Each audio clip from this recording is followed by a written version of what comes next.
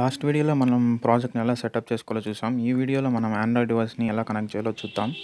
Okay let start ప్రాజెక్ట్ని open చేసుకుందాం. దీని తర్వాత మనము ఫైల్కి వెళ్ళి ఎడిట్కి వెళ్ళి ప్రాజెక్ట్ సెట్టింగ్స్కి వెళ్ళేసి పైన ఎక్కడికి వెళ్ళాలంటే మనం ఎడిటర్కి వెళ్ళాలి. ఎడిటర్ ఎక్కడుంది? Editor editor.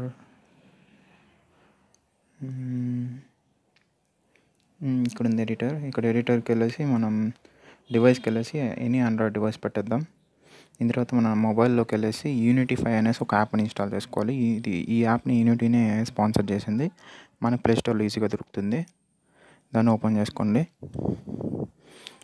మళ్ళీ ఓపెన్ చేసిన తర్వాత ఇప్పుడు మనం సెట్టింగ్స్కి వెళ్ళాలి డెవలపర్ ఆప్షన్స్ ఉంటుంది ప్రతి మొబైల్లో. డెవలపర్ ఆప్షన్స్కి వెళ్ళేసి ఓపెన్ చేసుకుందాం డెవలపర్ ఆప్షన్స్ని. ఇక్కడ మనం యూఎస్బి డీబగ్ డీబగ్గింగ్ అని ఉంది కదా దాన్ని ఆన్ చేసుకోండి. ప్రతి మొబైల్ ఆఫ్లో ఉంటుంది ఆన్ చేసుకోండి.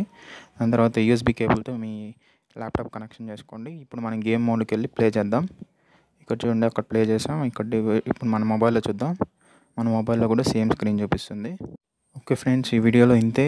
థ్యాంక్స్ ఫర్ వాచింగ్ నెక్స్ట్ వీడియోలో కలుద్దాం.